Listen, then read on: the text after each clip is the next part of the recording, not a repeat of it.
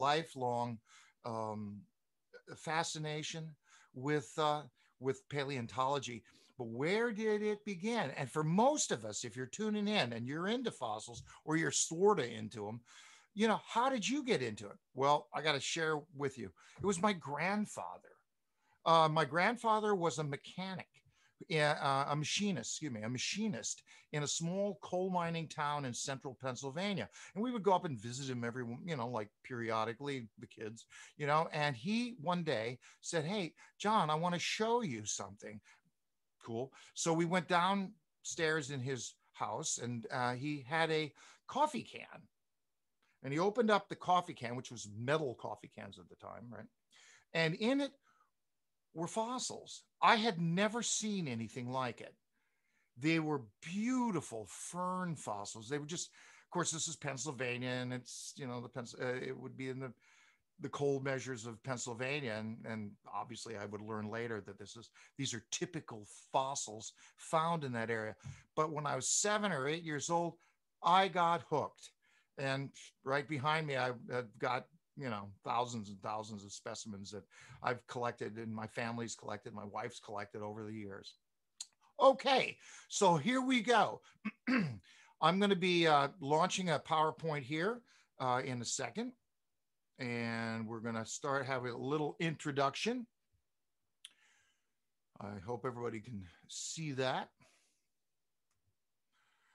And here we go. You shared the screen. Not oh, seen it yet. Oh, I'm sorry. Wait a minute. No worries. Wait a minute. Wait a minute. Let me just get back to. I'm learning. Uh, that would be helpful to share the screen. Let me do this. And then down here, share screen right here. How's that? Sure. I my uh, I'm getting better, guys. I'm getting better. All right, here we go. How's that?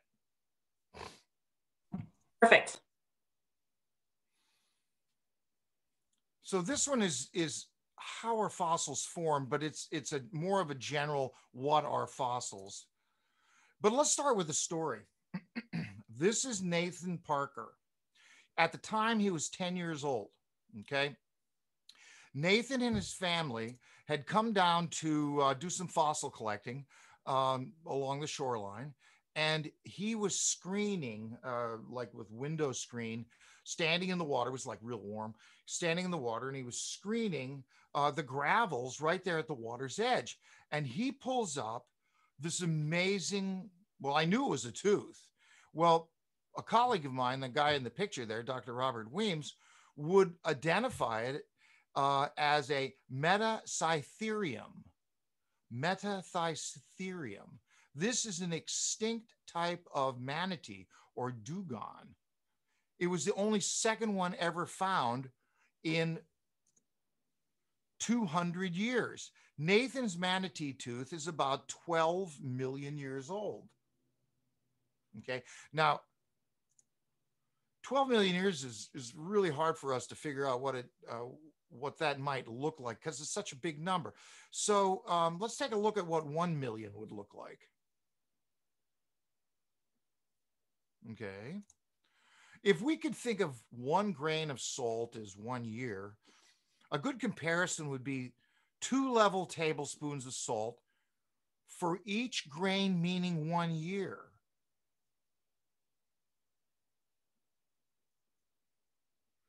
And only two teeth have been found like Nathan's in a hundred years. So the first thing that I think that we need to understand about fossils is they are incredibly rare. I know that when you go to gift shops and natural uh, settings and parks and things like that, and you know, uh, national national parks and state parks. Sometimes in the gift shops, they'll sell fossils and they'll have a whole bin full of them. And it's like, whoa, these things are all over the place. No, fossils are incredibly rare. The chances of a of a animal or a plant lasting millions of years is real, real rare. And you know, whole plants you know, like a fossil of a whole plant, which I'll show you some stuff later, and whole animals are just unbelievably rare. So it's some people say that it's not one in a million that uh, living organisms becomes a fossil. It's one in a billion, a thousand million. It's even you know bigger. So there it is. There's Nathan's tooth. Okay. Fossils are clear evidence that that an organism lived. Okay, you got a fossil, it's proof. And here are some examples, right? Uh, shark's teeth, and you have that large um, skull of of an Appalachiosaurus, which is actually this is not in the Stratford collection. I wish it was, but it is uh, down in uh, in Martinsville at the Museum of Natural History for Virginia Museum of Natural History that I work with those guys. So more than 99% of all living things are extinct. Okay, right away, almost every, or maybe they figure like 5 billion different types of living things and 99% or more 99.9 are gone forever and we only have a tiny tiny tiny little uh, evidence of, of fossils that are from the past so for a fossil to form okay the body must not be eaten or destroyed um, by erosion or any other natural forces and last for thousands, if not millions of years. So I hope you're getting the idea that any fossil is rare. The fossil tooth you pick up on at shark uh, along the Stratford Beach, or maybe uh, a fossil you picked up on a vacation trip. Just think how rare that is. Incredible. So, what fossilizes? Well, hard body parts, bones, teeth, things like that are, are most often preserved. It's likely most fossils will never be found, right? The most fossils will never be found before they are destroyed by erosion or other natural forces. So there, let's talk about the different types of fossils. Okay, body fossils. All right, I, I'm going to hold up this I hope you can see that. This is the lower left jaw of a Miocene long legged pig called a tapir. Excuse me, a peccary. Excuse me, peccary. This is a peccary jaw and it's from Virginia. No, it's not from Stratford, but we could find something and we do have peccary teeth and things. So, body fossils okay, are the actual fossil, uh, fossilized remains of what the body looked like. And they range in shape from tiny little one cell dinoflagellates, like that little uh, guy on the little picture on your left there, and large body fossils like the baleen whale. Now, bones, shells, and teeth, as you probably know, are also fossilized. This is a Teredo, which is a collection of worms, but it too is a body fossil. So it retains the shape of the body.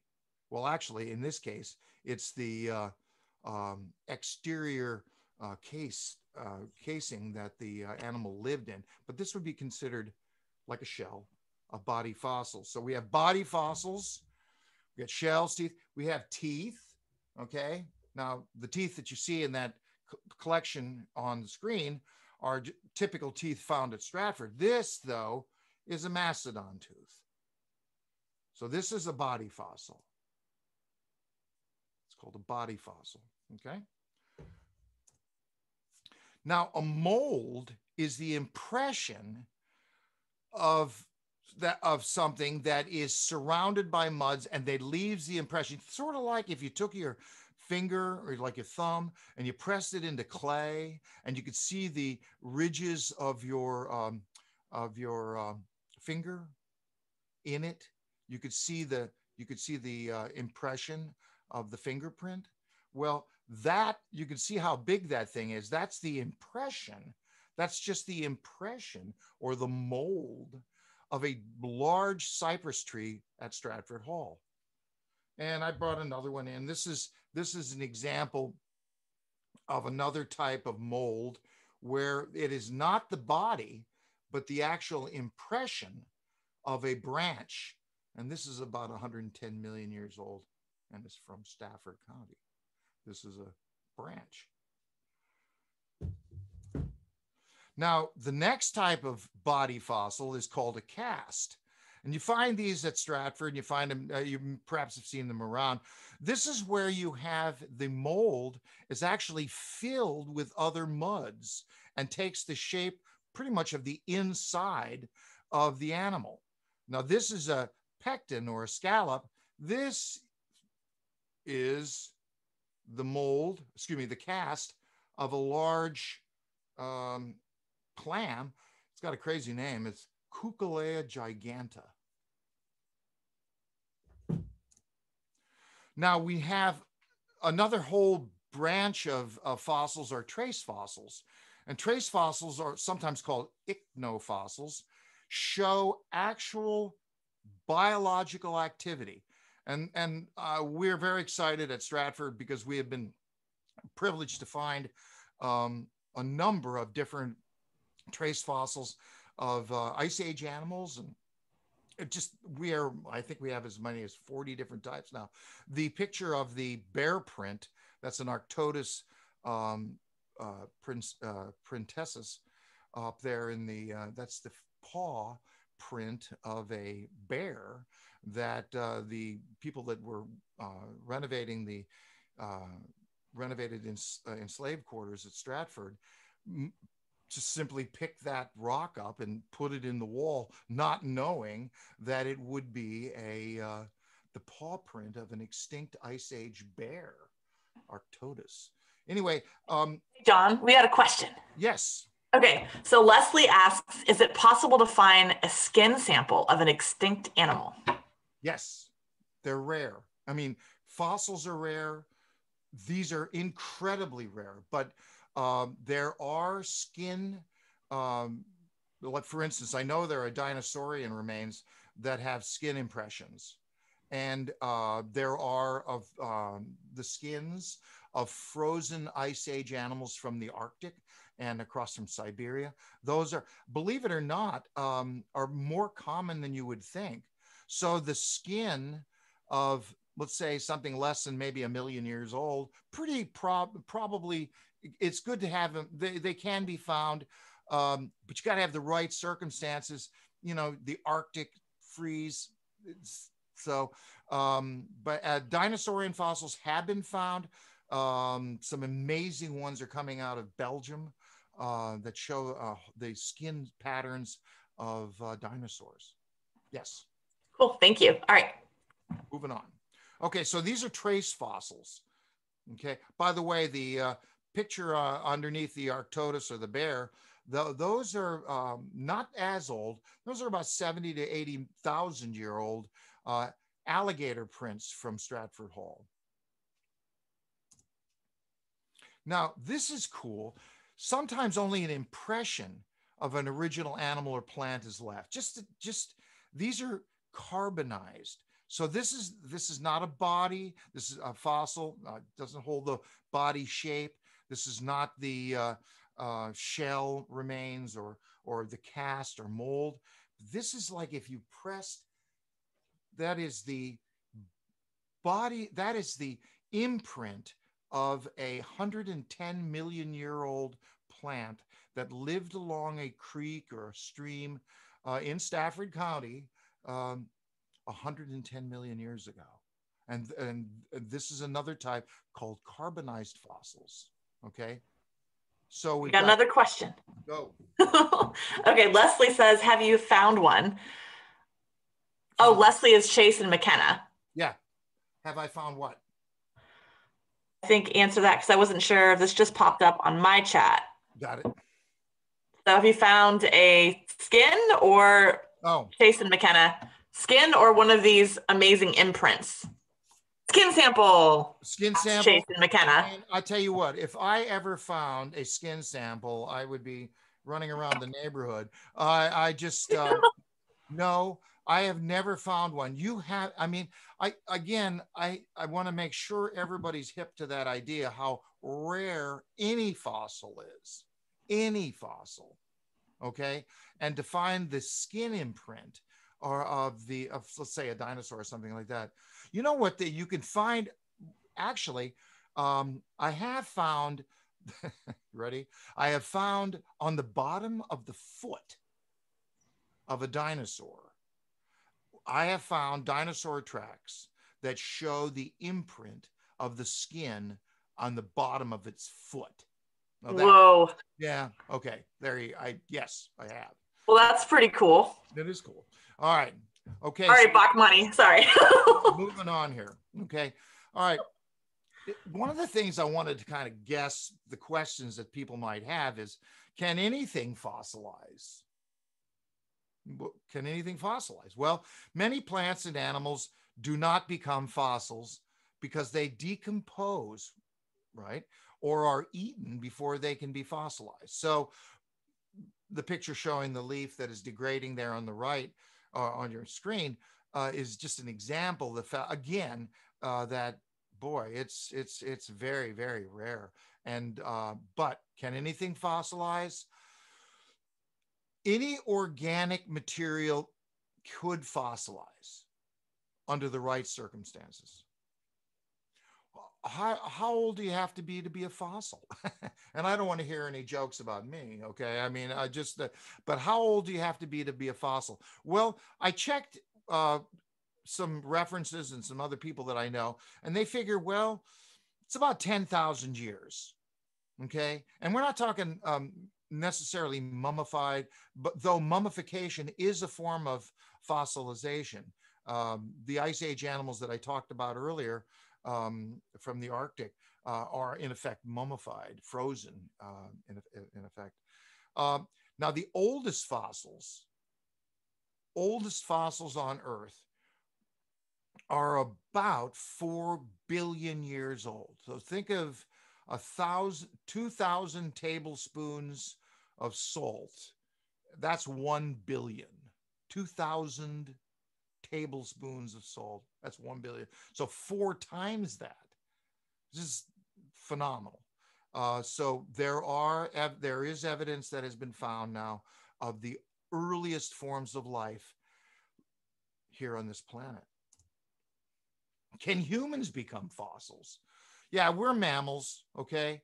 Um, and mammals have bones. We got bones, we got teeth, and all of those can turn into fossils. So and perhaps you know about uh, some of the early uh, uh, hominids fossils that have, have been found th- throughout the world, uh, primarily Africa and in Southeast Asia, uh, that are many millions of years old. So, yep, humans can become fossils. Fossils are really cool. Most are very old, and each one is a tiny, tiny, tiny part of the record of life that has been on this planet. Again, 99 point something percent of all the life is gone. And of that, only a very small amount has the preservation has has been preserved for us to study. So again, fossils are very rare. So if you're if you're into wanting to um, explore uh, at Stratford, we have a public access beach that's available, and you can pick up house tour tickets, uh, or you can pick up grounds passes at the visitor center, and you can see the times are uh, Wednesday through Sunday, 9:30 to 5 p.m. Um, the next program that I'm going to be doing is kind of cool. Um, it's on April 10th and in this one, I'm going to be asking for people to send me photographs of fossils and where you found them, if you, if possible. You know, I took this picture in Arizona of the this, you know, or we were in Minnesota, blah blah blah, or something like that, and I picked this up. Uh, send me a picture, and then on April 10th, it's going to be you and me figuring out how old this fossil is, and I'll do I'll do the best I can to explain uh, you tell me where you found it. I'll do the best I can to research it after, but get these pictures to me by April 1st, if possible. Uh, so, and where, how do you do that? Well, you can send it to that, Jay Bachman at stratfordhall.org. And that takes care of the PowerPoint. So stay curious. See you soon. Now we can open it up for discussion, and some questions. All right, I'm going to stop the share. Okay. Got it. All right. I'm ready. Well, that was awesome. So I'm trying to figure out how I can become a fossil one day. I gotta, I gotta maybe mummify myself. I couldn't mummify myself, but I'll have my son do it for me or something. We'll look up cryogenics or something like that. Yeah, yeah. Actually, my best friend growing up, um, the the house that she lived in, it was in Berkeley. You know, so it was a bunch of these like sort of crazed like hippie right. scientist people, and right. one of the people in the house is the one that froze the dog Miles, that brought him back to life again, and was one of the sort of big oh. founders of cryogenics, and that whole family is frozen. So they're waiting to be ah. mummies, or not mummies, fossils. Maybe, waiting for I. Okay, well, everybody's got to have something. On that note, okay. okay, Talbot. Hey, Talbot. Talbot's one of our wonderful board members. Talbot asks, "How did you find the bear print in the wall?" Oh, excellent question, Talbot. Actually, actually I didn't find it. Hmm. Oh, Dr. Robert but I could say that. No, Dr. Robert Weems, um, this guy that I drive everybody nuts with. I say, hey, you know, Rob Weems.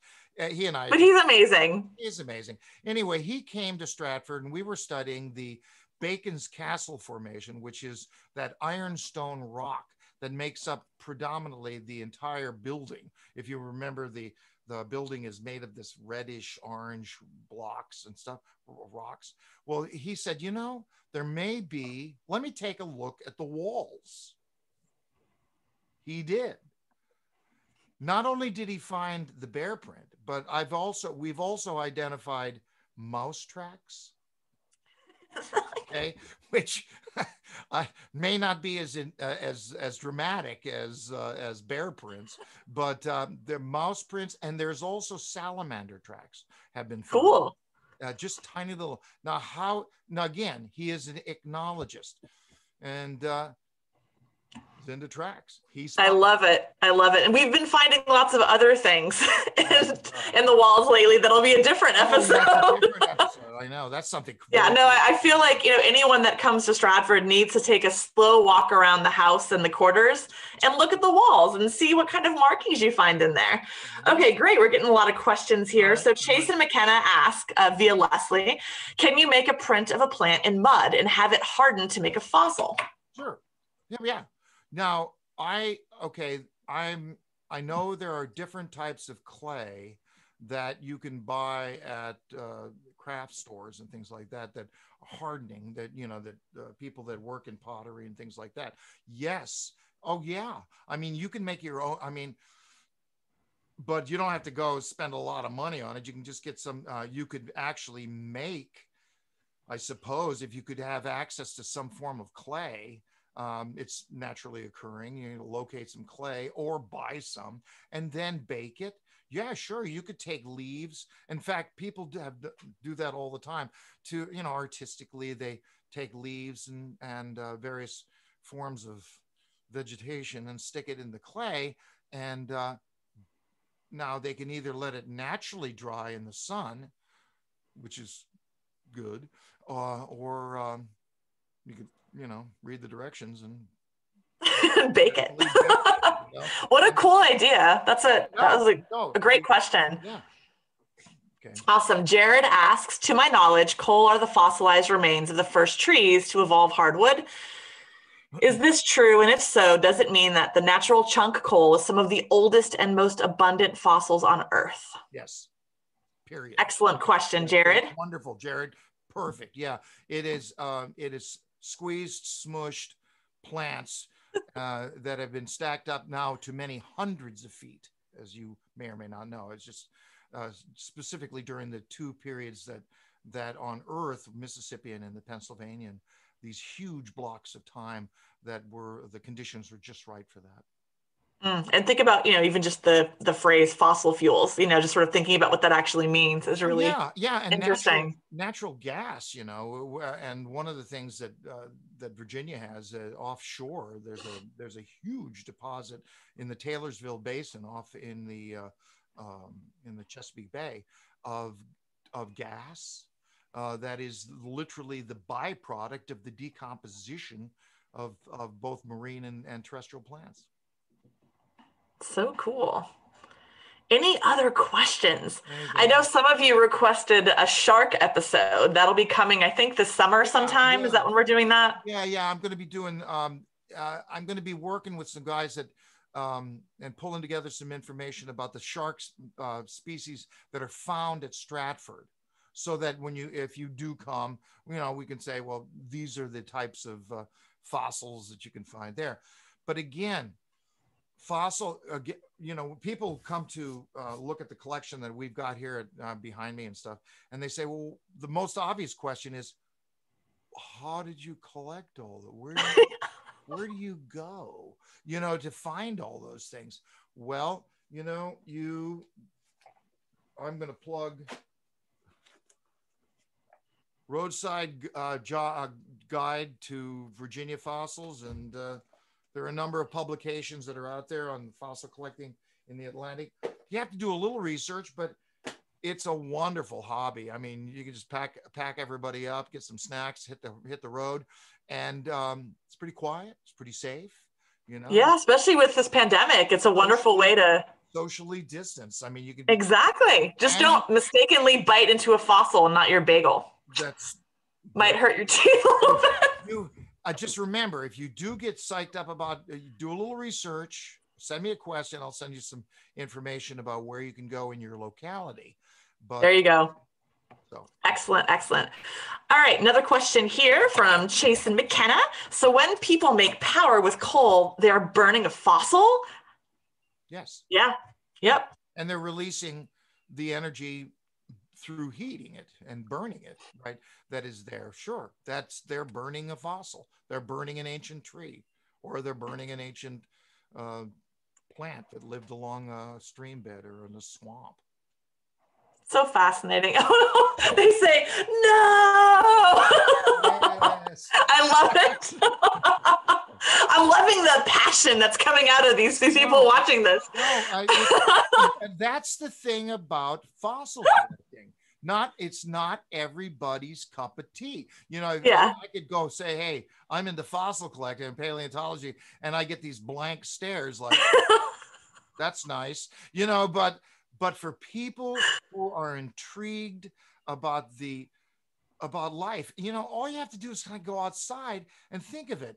I was out this morning just kind of, you know, checking out the morning and I was thinking about this program and I'm thinking, I'm looking at the trees in my yard and the thousands and thousands and thousands of leaves on those trees, none of which will be fossilized. Mm-hmm.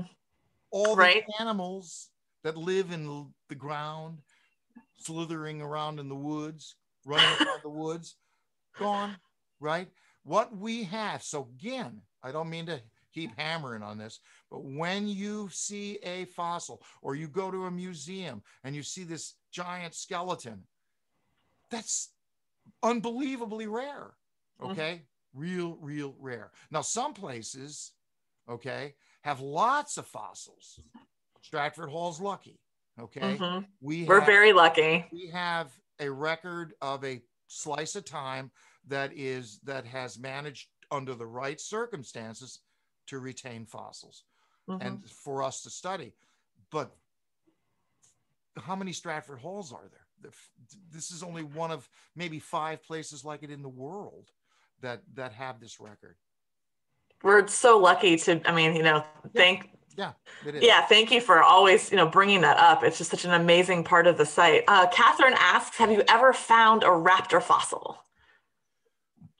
Um no. We uh, i have never found out the raptors that are you know that uh, people are most associated with are the ones like the jurassic park raptors and things like that the uh, the raptors though uh, lived in the fredericksburg area and we're pretty sure, me and Weems, Dr. Weems, are pretty sure that we will eventually find the footprints of one. Okay.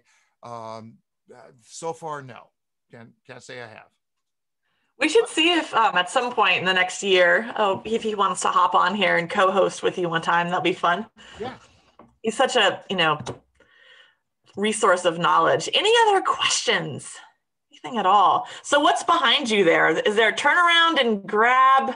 Okay, your house is on fire. Which fossil do you grab? All right. Or is it too big to grab? No, no, no. Wait right there. Uh-oh. Okay, now I'm excited.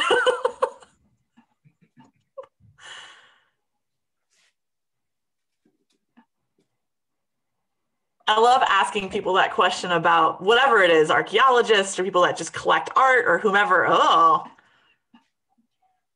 Well, you won't be able to see it. It's a piece of a sidewalk, Jon. it's, it's part of my walkway. On this, which I have, I know you, I'm going to have to, what I'll do is I will indicate with a pen. Or the, Uh-oh. Are the only known, No, I know, I know you can't see this. I know you can't. All right. Up in this area Yeah. are little tiny pits. Yes. Those are the only known evidence ever discovered of a frog hopping. Stop it. I can actually see them. That is the coolest thing I've seen in a while. I see them. Yeah, you can see them. Little, little tiny, they're like the story about this is is actually this is this is not a frog. I'm sorry. These are toad prints. Toad. Oh, yeah. Oh, wait, you can really see them right now.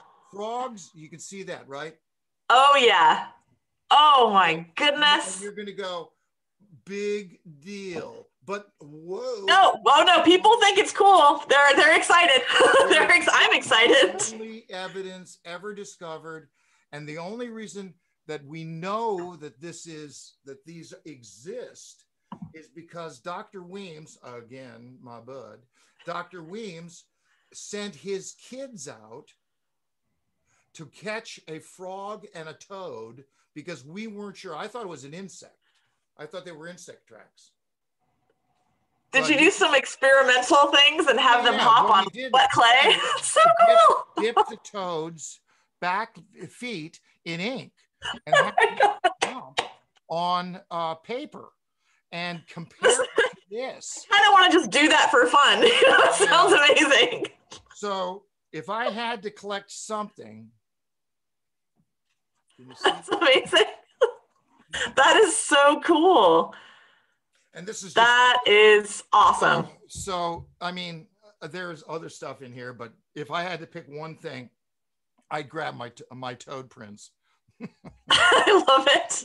I can see why. I just want to go back in time and watch this experimental. Uh, we call it in archaeology experimental archaeology when you That's right. rebuild something and then destroy it and see what it looks like. exactly exactly no so that's the story and uh, dr weems sent his son andrew out to catch something and back a toad and he put it on the paper uh, this was back when uh, printer paper came in big rolls and Yes. Okay. And and it just hopped across and uh I love it. toad. So how much, how much, I'm, I'm just curious. I'm a big fan of toads. Um, I actually carry around, I'll show it to you, a mummified toad in my car. Yeah. Um, I'll explain that another day, but I'm very into toads and I'm wondering how much have they changed since they, the ones that were hopping Oh. on that. well Earth. the fossil record of toads and frogs the actual fossil record goes back probably their ancestors go back about 180 million years um, Just a few grains of salt. a few grains of salt. I know. Let's figure out how many tablespoons that is. Um, the um, uh, the body fossils of toads have been found. The true toad, true frog, uh, probably probably right around the time of these prints, about 110 million years old. Yeah, they've been around a long time. so time. cool. Yeah. And, and, and they were one of the few animals, along with a bunch of other ones, that made it through the great extinction uh, Whoa. 66 million years ago. the big mystery how come toads, lizards, right? How come they made it through, right? When the big dinosaurs didn't. Right. Yeah. And it has to do with the fact that these guys ha- are go places, they can yeah. do lots of different stuff, and they can hide in the mud. Easier to adapt, you know, like, like look at alligators too. I mean, they've just they've yeah, been able a, to. Yeah, when you're a, a three-ton triceratops. you can't go hide under something, right? Go swim and hide. Escape the meteors. All right, we have another question here from Chase McKenna. Have you ever found a skull of any animal? um, have I ever found a skull? I found pieces of skull. Um, uh, again, heads, heads, heads are are difficult to are, are rare. Okay, in the fossil record, I have found jaw bones. I found well, lots of teeth, but pieces of skull. Okay, now the the large whale at Stratford is has the skull of seven foot skull. So you want to count that gigantic, yeah. That's that's a full skull. Okay, um, but the reason heads don't fossilize okay as easily is because they are joined at the neck and the neck is a weak point a weak part of the skeletal structure so the head gone and uh, that's why when you find a lot of fo- uh, a lot of large animals or when you find body fossils of, of vertebrates many times you don't find the head at all or you find the head later or you find a head and no body you know because again you again, comes off. and, uh, and another thing about true. Another thing about fossils is that generally you have to have water present okay mm. water you have to have like you have to have it has to be submerged like for instance uh, petrified wood mm-hmm. okay? petrified wood uh, goes through uh, has to fall in the water be entombed by muds and then slowly each cell uh, absorbs the mineral content of the water and over time and pressure becomes petrified uh, so there's one thing I didn't mention is that one of the key elements of, of fossilization is the presence of water or mm-hmm. uh, or uh, waterborne sediments. So cool. Any other questions? Oh, here we go. All right. Do you think they should make a clone of a dino? I do not think they should. Well, you know, I mean, let's go back to Jeff Goldblum's comment. Yeah. Jurassic Park, you know. I think we've seen how that turned out. yeah, that wasn't too good. But um, cloning, uh, you know, should they do it? should they do it? The ethics of doing something like that, um, I would not do it simply because you are going to introduce something that is not part of the natural uh, environment anymore. And it's, uh, I, I don't know, I, I, I wouldn't do it personally. However, I know that, that research is going on with mastodons now. The, in uh, in in Russia, they have a number of uh, and other places they have a number of carcasses that they are actively trying to extract DNA. Wild. Wild, wild. Yeah, I, I, vote no on that one too. I and I didn't mention amber either. I have some mm. amber. Amber's so fantastic. I got a bunch of amber too. Amber is is is hardened tree sap that has entombed animals, and they and it's surprising the uh, amount of uh, stuff that got stuck in amber that they have found just got okay apparently my volume is really loud. So i'll turn my volume down maybe. Sorry about that. I'm a loud person um, so excuse me. I did not mean to blow anybody's ears off. Also we were having a hard time early uh, earlier hearing each other. All right so chase and mckenna ask have you found a mosquito in amber? I have. I have some insects in amber in my collection. I did not find it. However, years ago, I'll tell you, you can find amber in uh, uh, east of Route 1 in Prince William County. Uh, now, remember, if you're going hunting for stuff, get permission if you're on because all the land is owned by somebody. But uh, years and years ago, uh, my wife and I would uh, right down from where the apartment where we lived in Dumfries was a swamp, uh, a, a, Cretaceous swamp. And uh, though we never did find it, I'm pretty sure that there are amber, and it's small and not as not as big as the Baltic or the Dominican uh, amber that's out there. No. Amber's pretty fantastic. there was a uh, in California I'm from. There was a store called the Bone Room, and it was a literally a place you could go buy fossils and oh, yeah. all kinds of weird natural history things. And it was they had a ton of beautiful amber in there, and I got a bunch of it over the years. Pretty fantastic. All right. Well, I think we are out of questions. We're going to wrap up today's uh, Science Saturday. Thank you so much for everybody uh, for zooming in today to hear about fossils. And thank you, Jon, for your, your usual enthusiasm and knowledge. And again, you want to remind them of what to do before yeah, April 1st? Yeah. If you have a fossil at home, take a photograph of it, email it to me, okay, by April 1 and we'll and tell me where you found it uh, and any details, maybe you might even know the county of what state that you found it and would help. And it'll be fun.